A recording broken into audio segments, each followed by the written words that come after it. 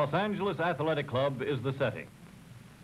The story is the fifth annual United States Handball Association tournament. The all-star cast includes national champion Vic Hershkowitz and Chicago's most promising youngster, Johnny Sloan.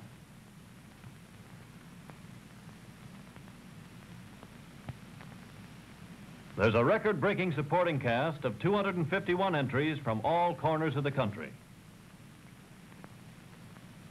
Audiences from 300 to 500 persons were cleverly handled by the large glass gallery and closed-circuit television furnished by Athletic Club President Frank Hathaway. Hershkowitz is playing a semifinal match with the Detroit star Paul Stobbe. The champ knocked Jim Harp out of the tourney. The Los Angeles Athletic Club star Maury Singer found out experience is a great asset when Chicago star Phil Collins won in two straight games. The Buffalo strongman Harold Schrutt was just that, too strong for gentleman Jim Ritter from Montana. We think this boy Phil Collins is playing is ready for a starring role.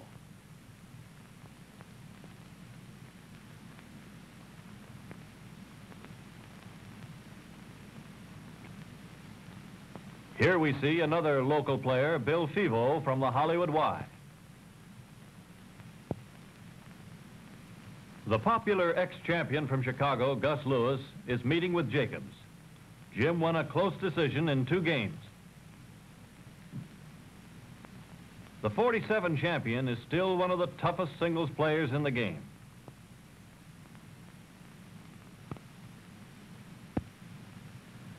Finals in the Masters. Shane, Boisery, Brodemarkel, and Hackney. Challenging for the crown, the LAAC team of Boisery and Shane.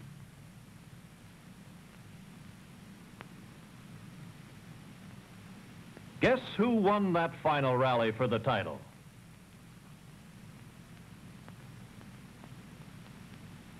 Well, how often does a guy win the National Masters Tournament?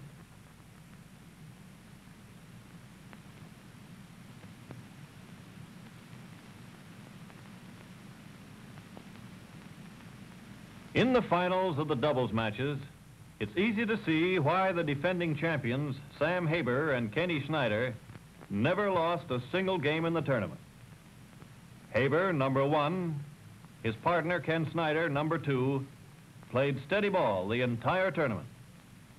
This makes two in a row for this pair and the fifth national doubles title for Sam Haber. Jack Gordon, A on his shirt, and Harry Dreyfus, B, pressed the champs to 18 points in the first game and lost the second try 21-8.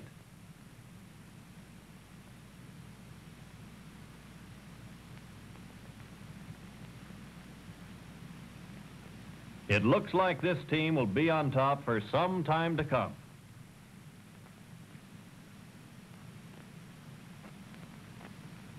The big sequence in our story was the finals of the singles championship.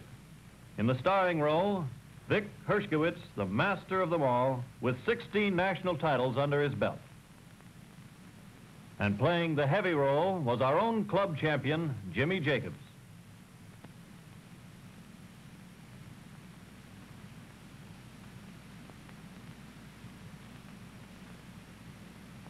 This part of the story was televised throughout Southern California by the popular Hollywood star and handball player, Art Linkletter.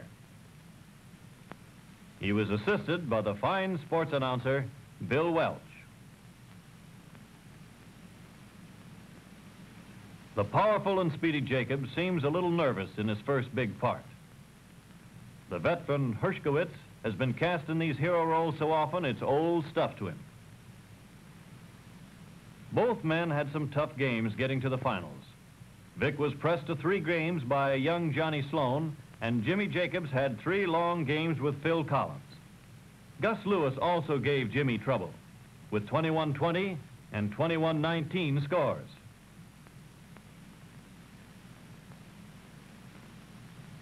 But here they are, so on with the game. Jimmy won the toss and will serve to Vic, who has the number one on his shirt. Jimmy wears the number two. Jimmy draws first blood with a corner kill shot. Now Jimmy misses a right corner kill for an out. A perfect ace down the right wall. Now it's Vic's turn to miss, side out.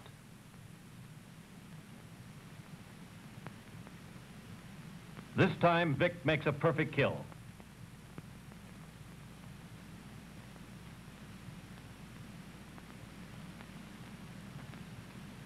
The boys settle down to steady play now, but Vic finds an opening and kills in the right corner. Vic seems to like that corner kill and tries another one for a point.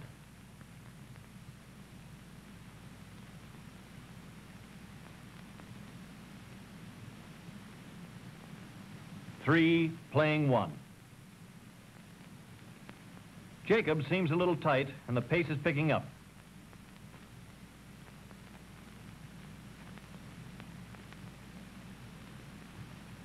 Jim misses to make it four to one. Notice how the champ likes to keep in the front court.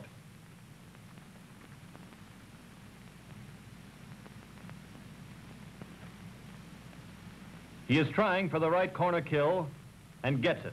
Five playing one. Another ace for Vic. Six plays one. Here comes another one. Ace. Seven to one.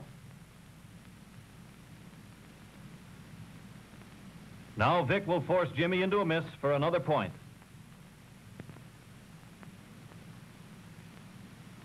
Eight plays one.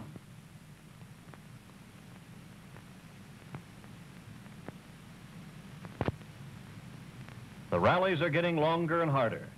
The pressure is on. Both boys are loosened up now.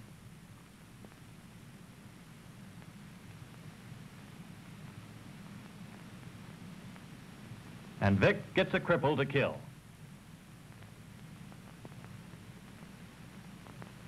Vic gets a break on a near hinder and passes Vic down the right side. Jim has got to catch that eight-point lead and helps with a corner kill shot.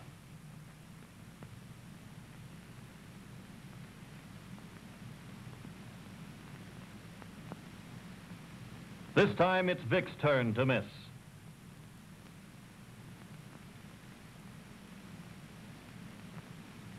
Here seems to be the pattern for the entire game. Jimmy keeping Vic deep in the corners.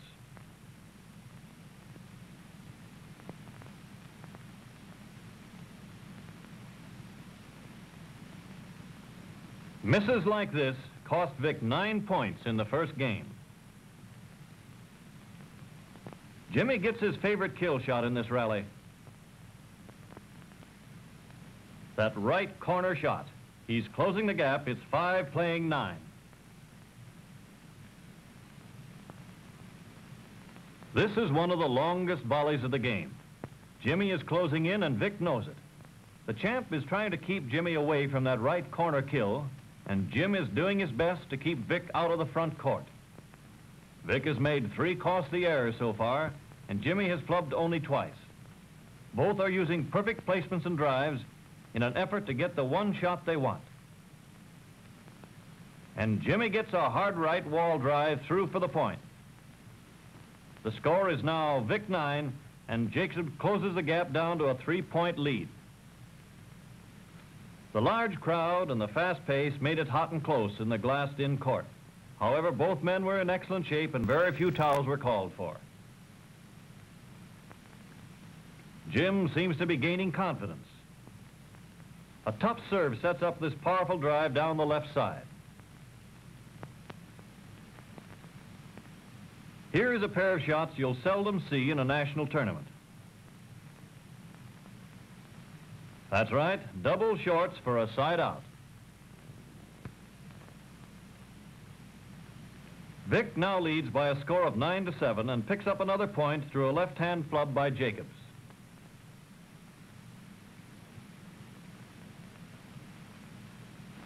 Here we see Vic hit one a little hard and gives Jimmy his back wall setup, which he flattens for a side out.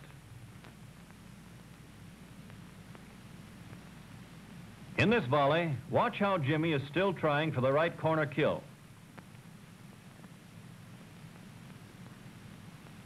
He takes the shot a little high, but it works for a point. And now it's eight plays 10. We pick up this volley during the play. Vic hits a hard drive and forces Jimmy to miss. Side out.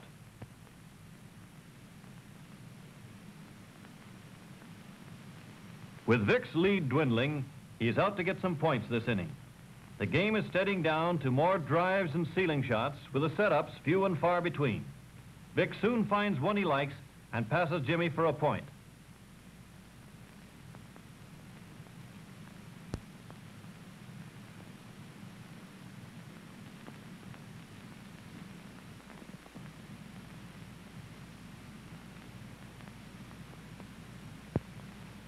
Vic likes that pass shot and tries it again. This time, Jimmy catches up to it and with a little back wall help, tries for the return.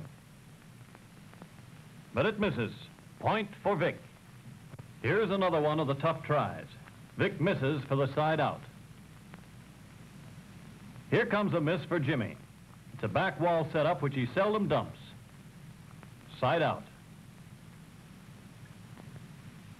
Vic now has Jimmy 13 to 8. Jimmy catches up to that pass shot again. Vic is ready and lays it away for the point.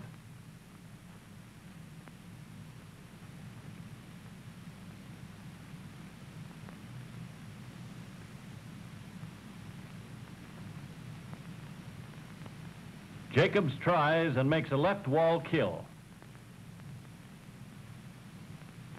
Jimmy hits the floor and is out. That's twice he lost his serve.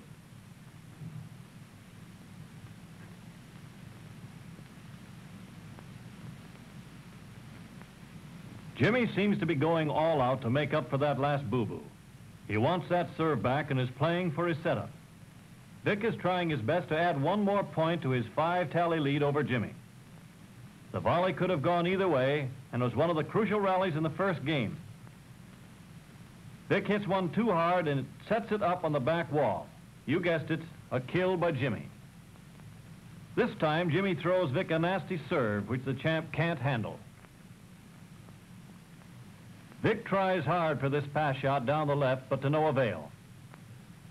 Point 10 plays 13.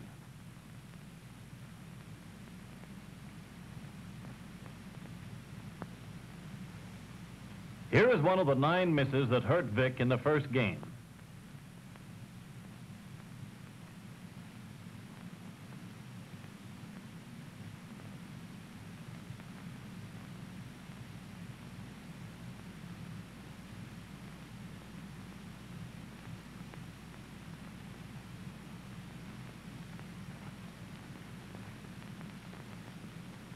Vic anticipates Jimmy's kill and digs it nicely for a side out.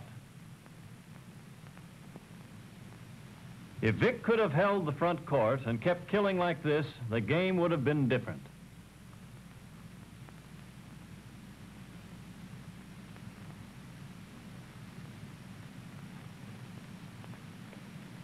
Vic likes the way he made that last point, so he's going to do it again. And does.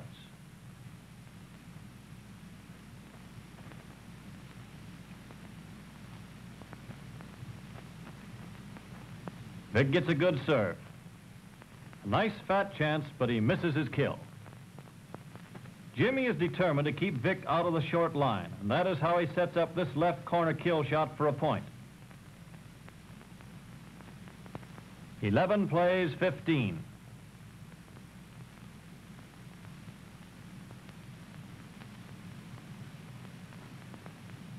Vic seems to be tiring from the running. He misses a tough one off the back wall.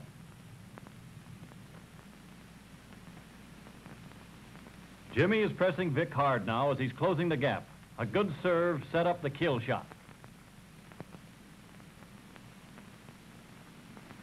It looks like Vic is getting tired of Jimmy serving so much.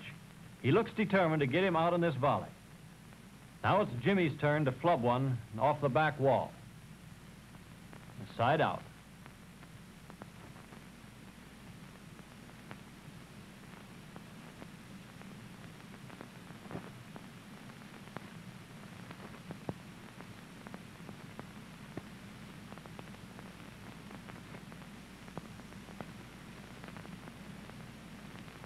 Here comes 36 seconds of one of the hard-fought rallies of the two-game match. The first game lasted 44 minutes, and you can see how those powerful legs of Jimmy's forced the champ to move around the glassed-in court.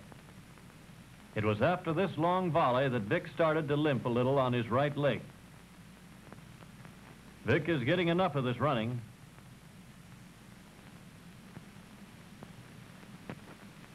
He blasts a pass shot down the wall to get a hard-earned point.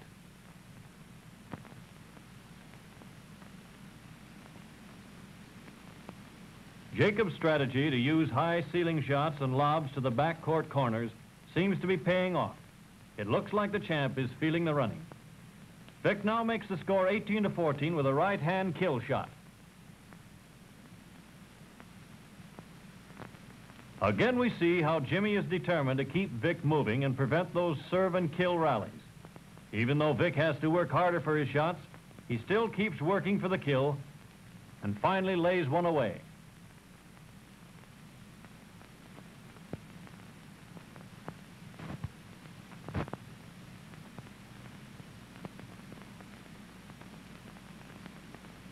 Vic now serves with 19 points to Jimmy's 14. Two points away from the first game of the national championship. The points are not coming easy at this stage of the game, and Jimmy is bouncing around the court like a rubber ball. He seems to get his hand on everything Vic can throw. But a left corner kill is the shot Vic uses to end the rally for the 20th point. As Vic serves for his 21st point, everyone but Jimmy thinks the game is about over. But Jim comes up with his famous right corner kill and puts Vic out.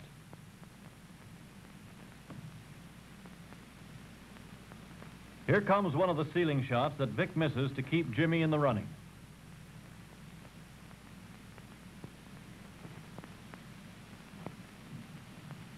Here comes another error which Vic made to bring Jimmy up to 16 plays 20.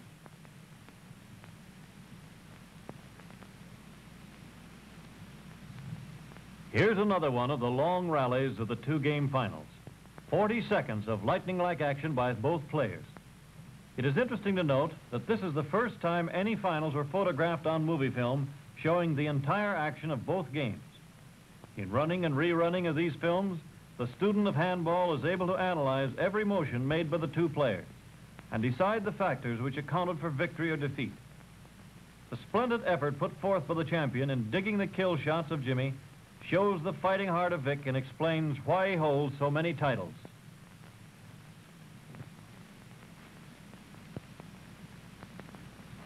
It is apparent to the champ now that this kid Jacobs is built of steel bands. He just won't give an inch and never seems to tire. The only way to get that last point is to shoot for the bottom board and keep it flat.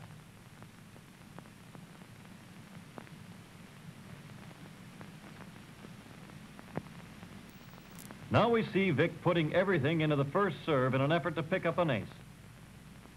But he serves a short. Here he seems tired and reluctant to give away in front center court a hinder.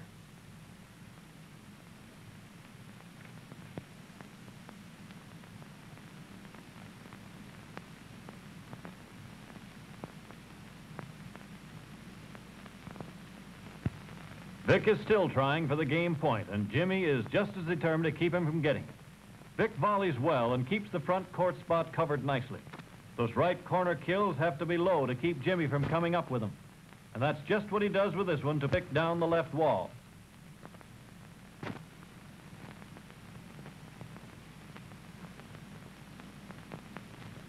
Notice the beautiful control of the ball Jimmy keeps from the serve on in this rally. Everything's down the left till Vic brings one out, and then it's a hard drive down the right wall for a pass shot. The score now, 19 playing 20. This time, Jimmy fails to keep Vic deep, and the champ picks one out of the air off the right wall for a perfect kill shot.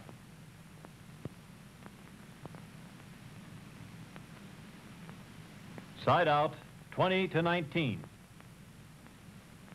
Vic seems to give Jimmy rather an easy serve to start this long 44-second rally and never quite gets the offense away from the challenger.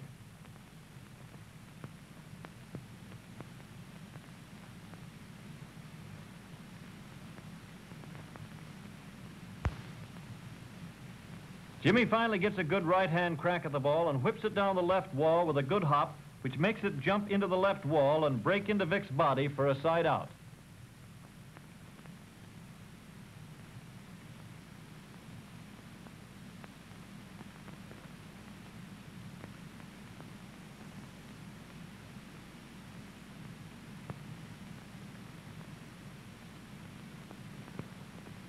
Here Jim tries for the quick way to score, but gets a short ball. 19 playing 20. Jimmy now gives Vic an easy serve, which Vic tees off on and gets Jim in a hole. Then passes Jimmy down the left wall for the out.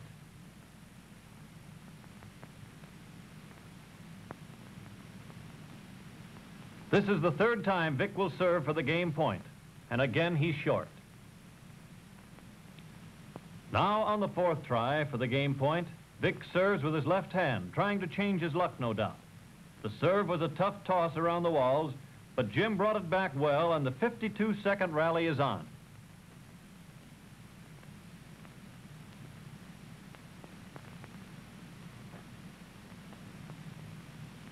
Both men hit the ball a total of 21 times in this battle, and the try for kills was almost nil.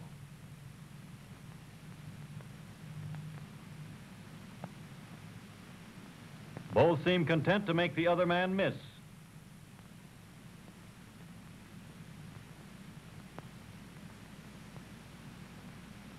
And it was Vic that came up with the error on a high shot to the right rear corner that looked like it may have crotched and took a bad bounce. Jimmy is holding on to the front court and won't be moved out. Vic tries to drive one of Jimmy, but Jimmy drops it down on the right side for a kill and the tying point. The score now 20 plays 20. Here Jimmy hurries to retrieve the ball and get his serve off as he feels Vic is tiring. He wants that 21st point badly. But Vic calls dead ball as he's not ready.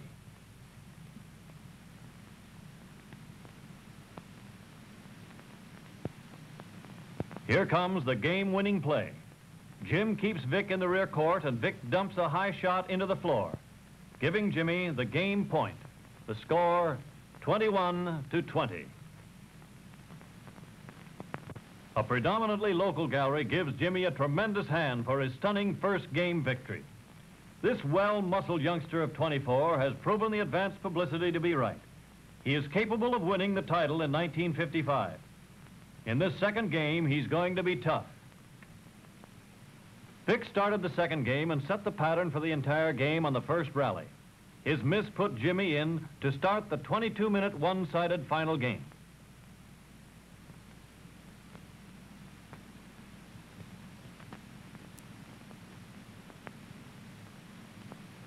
Jimmy started off moving well and full of confidence.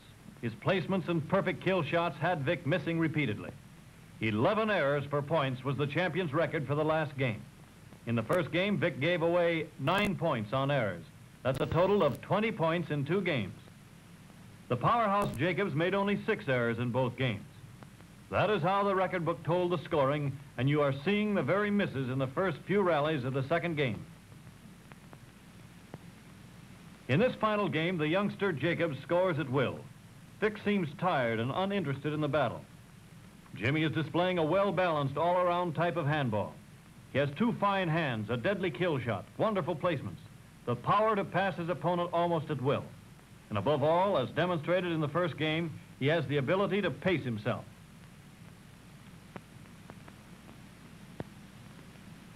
Unlimited strength, speed, and stamina, and a rare coolness under pressure.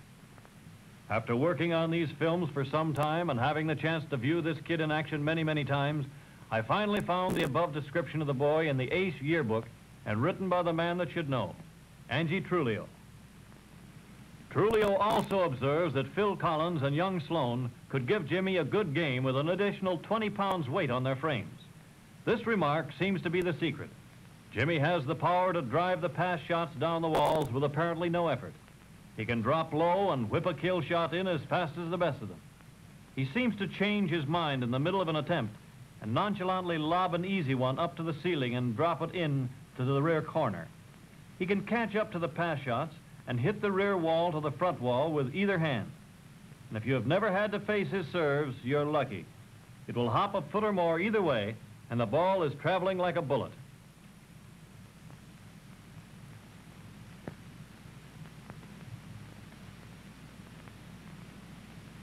Vic misses the kill laid down by Jimmy for the final point and the match. A new champion is made.